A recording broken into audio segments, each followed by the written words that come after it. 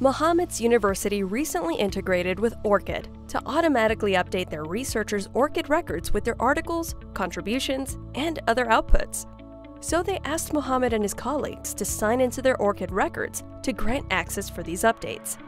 But he can't remember the last time he logged in, so he enters the email address and password he thinks he used. After a few failed attempts, Mohammed starts to wonder if he even has an ORCID record. After all, he has dozens of systems to keep track of. So he clicks on Register Now. As we'll see, ORCID makes it easy to prevent creating duplicate records. Once he fills in the first screen on the registration form, a screen pops up to show him records with similar names.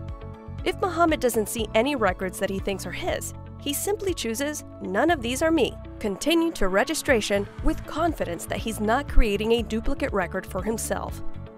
However, if he sees one that could be his, he can still regain access even if he can't remember his credentials.